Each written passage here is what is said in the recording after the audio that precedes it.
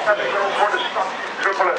En uh, ja, moeilijk is oké, maar de gezichten staan hier op onweer. Het lijkt alsof ze deze regen en deze wind niet kunnen waarderen. Dat is niks met plezier te maken heeft, maar dat is het beste is.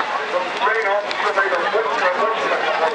Nou, worstelen, worstelen, dat is eigenlijk uh, precies uh, de woorden die ook in, uh, in mijn ogen zaten toen ik deze achter binnen zat. Wil nu over de fiets komen. Ik heb een naden, ik zie naar buitenlandse boten, maar social media benadrukt. Ik kan voorbij van de afgelopen dagen.